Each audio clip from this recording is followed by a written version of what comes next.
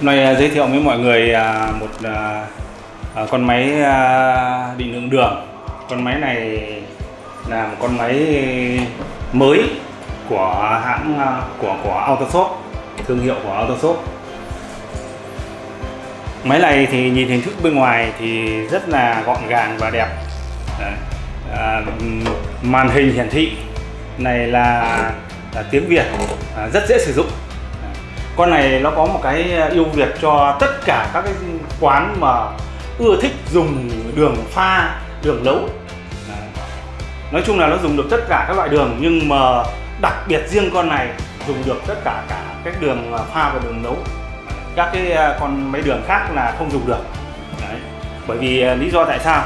Thì à, tí tôi sẽ mở bên trong ra để cho mọi người cùng chiêm ngưỡng cái, cái ruột gan của nó ở bên trong. này con này rất là là là là, là đẹp. Bây giờ phải nói đến cái đầu tiên. Đấy. là cái lúm xả đường này. Lúm xả đường này con này được thiết kế bằng nhôm nhé mạ đồng thôi nhưng nó là bằng à, hợp kim nhôm. Cho nên là tháo ra vệ sinh rồi lắp vào nó không bao giờ nó sợ bị tròn ren đấy nên là dòng này rất là độc đáo ở đó. Hầu như các cái dòng máy khác ấy là làm tòng nhựa thôi. Đấy, như con này là làm bằng hợp kim nhôm. Thế thì con này đấy phụ kiện của nó đi kèm. Đấy đây là bộ phụ kiện của nó là đi kèm theo máy gồm có một cái dít đâm. Đấy. một cái dít đâm và một cái à, cầu trì. Một cái gioăng một cái gioăng của cái à, cái à, à, van đóng vòi này. Van van đóng mở cái vòi này.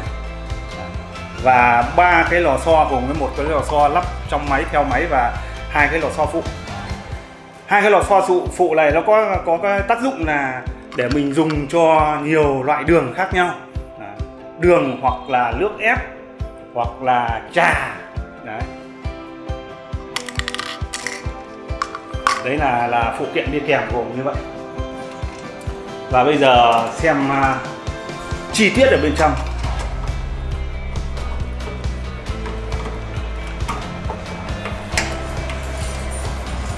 Đây con này duy nhất có một con loại máy đường này là nó dùng mà cái hệ thống sấy nóng vòi xả đường và dây dẫn đường dây dây xả đường ra. Đấy duy nhất có dòng này có thôi nhé còn tất cả các loại khác là không có cái loại này đâu. Cho nên là lý do tại sao mà nó dùng được các loại đường nấu hoặc là đường pha là như thế.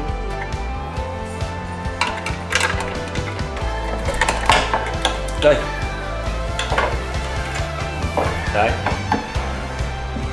Trên cái vòi, trong cái vòi này nó cũng có cái dòng điện ờ, điện trở này.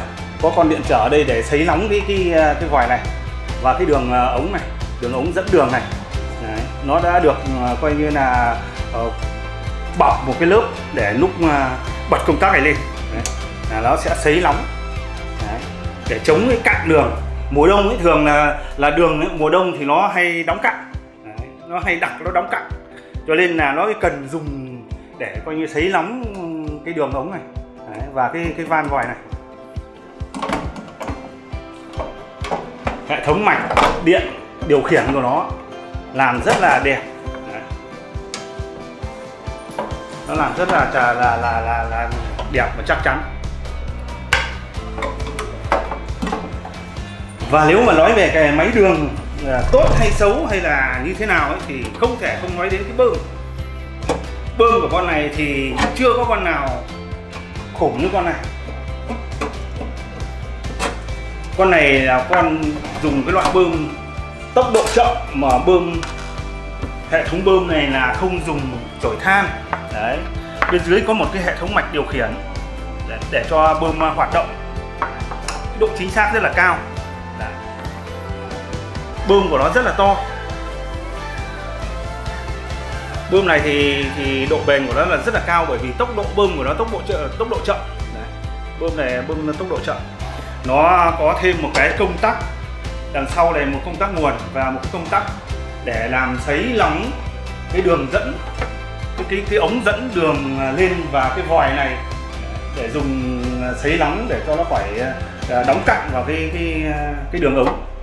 Đấy, cho nên là con này có 102 trong các lĩnh vực của các cái dòng máy đường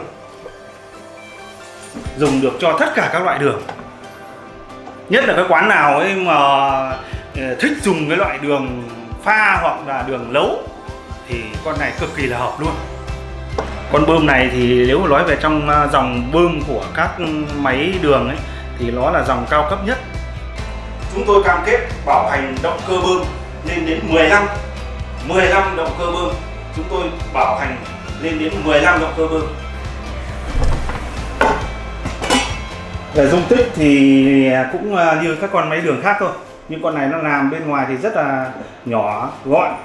Nhưng mà dung tích thì cũng như là các cái các cái dòng kia.